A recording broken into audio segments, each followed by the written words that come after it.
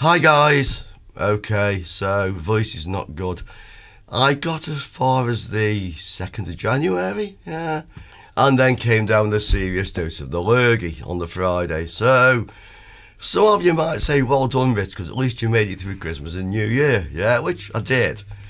But what I didn't make it through was Three Kings. So, Three Kings is the 5th and 6th of January. It's the 6th today. Today's a big public holiday, family day, rather like Christmas Day in the UK. But it's not the Spanish Christmas because, well, they have that on the 25th of December, the same as the UK. 5th of January is the one with the big street parades, and I really wanted to be out there filming this, but you know what happens once a year. This year there was no chance of me making it. So what did we miss and why am I here today? Okay, well, the Spanish celebrate Christmas on Christmas Day, the same as most of Europe. This is actually the celebration of Epiphany, which is the 12th day of Christmas. So yeah, this is what we missed. This is a really crazy thing we have here. Yeah, I don't know if you have this where you are, but this is Three Kings.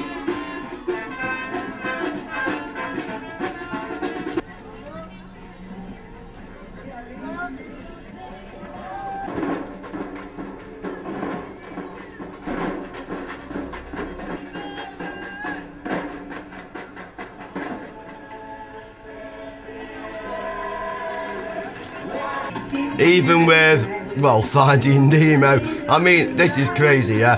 And uh, the Cult of Cthulhu. How Lovecraftian is that, yeah? So, so much we wanted to film that again. Guess we have to wait till 2027 now. Yeah. Do they have that where you live, by the way? It's called Epiphany. Although here it is called Los Tres Reinos or Three Kings. You should have that everywhere because it means after New Year you get an extra public holiday. Yeah, and another party. Anyway, we're here for different reasons today, guys, so enough of that, but I'd like to know what you think about it down there. The reason we're here is, well, we had the prize draw for the winners from the Alientek giveaway, and I have three winners. The prize draw was on the live stream on 4th of January. A lot of you guys did watch that. You know it was completely above board and fair. Okay, so the three winners. Third prize is Antonio Cordiero 8836. Well done, you won the LT1 Smart Tweezers.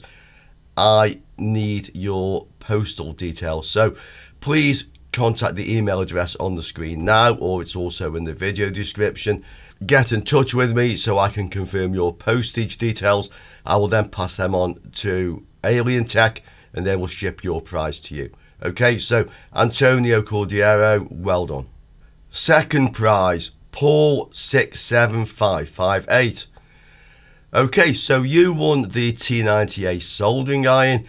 Once again, I need your postal details to get that sent to you by Alientek. So please email me so we can sort that out for you, mate. And congratulations. And lastly, first prize goes to Atifix. So you have won the DM40A multimeter. Same applies. I need to get contact from you for your postal address. I do know you have a YouTube channel, a electronic repair service channel. There is an email on your contact details. I have emailed you, but I've not heard from you. I know you are in India, so please get in touch with me so we can arrange to send you your winnings. And absolutely congratulations, mate. Well done.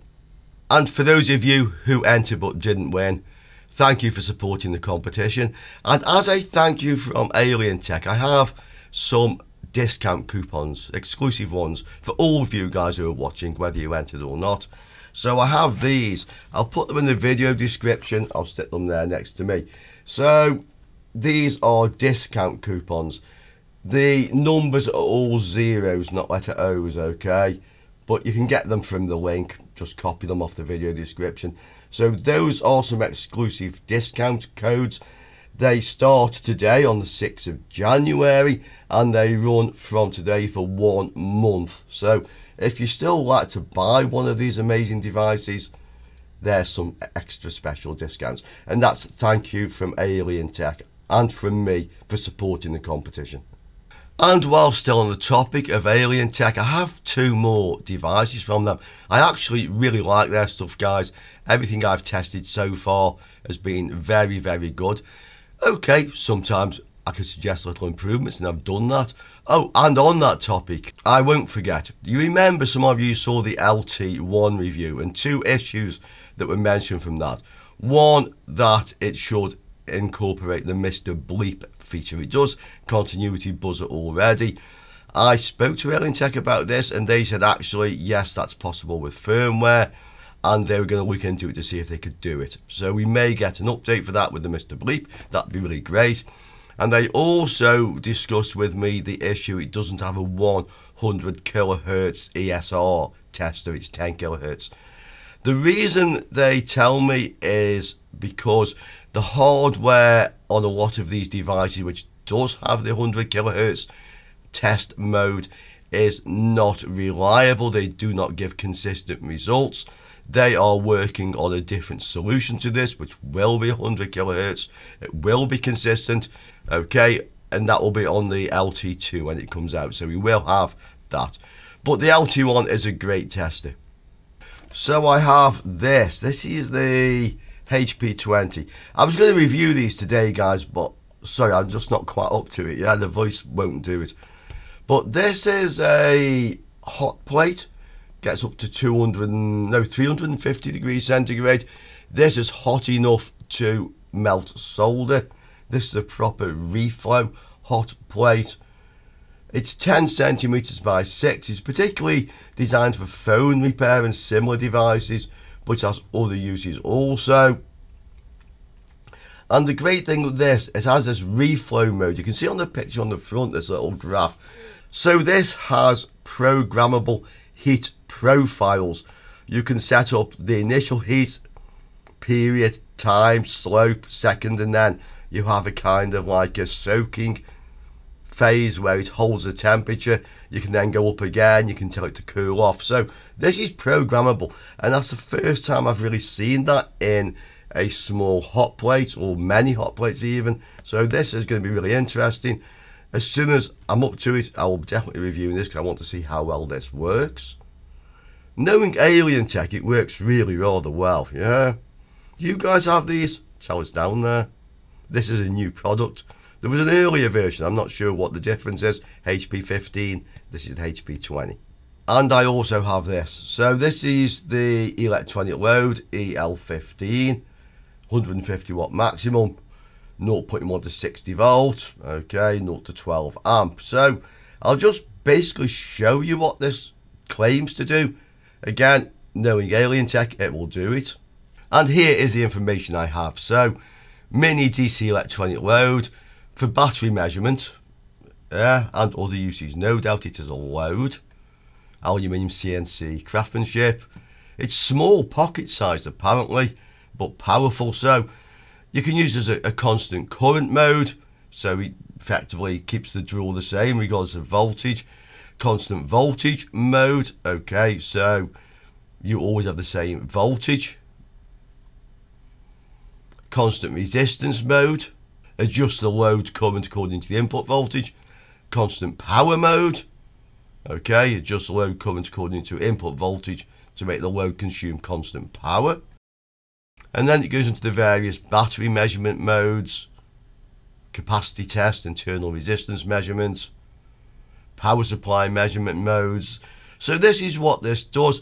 I've not tried a device anything like this one before, I will say.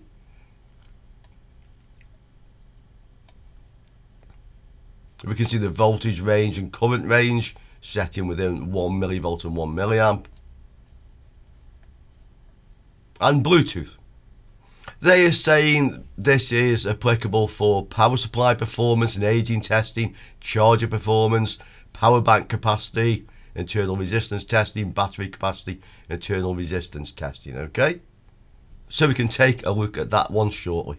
A few things coming up soon then, and it is 2026, New Year. So have you guys made any New Year resolutions? I haven't made a New Year's resolution, in fact I haven't for some years now. Come to that in a moment. But I did get this from Detlef. And it says, Don't expect any New Year's resolutions from me. I intend to stay the same awkward, sarcastic, foul-mouthed delight you've all come to know and love. Oh, bless you, Detlef. That made me smile. I can't laugh, it made me cough. Anyway, yeah, Detlef. Completely agree there, mate. And what's Carlos's input to all this? Well, Carlos created that, yeah. he gave us this on the live stream just before Christmas. And we have the t-shirts to prove it. Yeah. Cheers, Carlos. I think I'm going to say nice one. What you other guys think of that? Well, do you have mates like that? Uh, who do that to you? Well, some of you say who needs enemies, but no, mate, love it. Cheers. And I don't have any resolutions either, mainly because 2025 was a pretty good year. I think it was a pretty good year for the channel and it was a pretty good year for me and Julie and Detlef and everybody else, I think. So, no resolutions, but I have a couple things in mind and just before the voice gives up altogether, I'm going to suggest. So, one thing I would really like to try to do with the channel in 2026 is to find more varied repair jobs. I haven't focused in any particular direction, I've just gone with whatever comes along. And the old car booty videos we made a lot, but I seem to have pretty much just exhausted the supply now. Took me a few years and it's only a small island, yeah. I'll get a few more, no doubt, come along, but I can't do that as a regular feature anymore. I could buy more stuff at the car boot sale. Seems to be a lot of vintage audio equipment, other things as well, some really old stuff, valve equipment.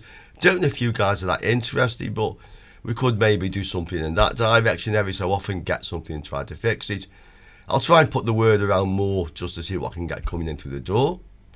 And I have another idea. I'm a bit on the fence with this one. And it's coming from various suggestions over various years, really, from you guys, to put together a more structured electronic repair series, yeah? Just part of the channel. But something more structured like how to learn electronics repair from the beginning, which also means learning electronics. Now, I've had a go at this before with it all you need to know about. I've done all the various common components and that. I have in mind maybe to do something similar but more kind of mixture of practical experiments in the video plus some chatting and teaching kind of like what you need to know. Yeah, oh damn, I used that one before, didn't I? And going through that, so how to learn to repair, really. What do you guys think? I'm asking you guys now. I mean, for a lot of you guys, this is probably not really your thing because you're more advanced in the starts of this anyway. I know some of you just like to watch it, yeah. But what do you think? If you feel there's enough of a call for a very structured electronics repair course from the beginning, then let me know. I would like to put that as an integral part of this channel. I know this channel's a bit chaotic in the way it's always has been. Yeah, jumps from topic to topic. Difficulty levels, just how it comes, yeah. I do have a possibility to put that external to the channel in a more structured manner and then it kind of doesn't disturb you know the vibe here so i'm just asking you guys now 2026 do you want to see it do you think there's any legs on it and should i do it? What do you guys think? Okay so sorry guys the voice is done it for today. Hopefully back in a couple of days time. Wishing yourself and all your family a very prosperous 2026 and I shall see you all very soon this year. Ciao for now, guys.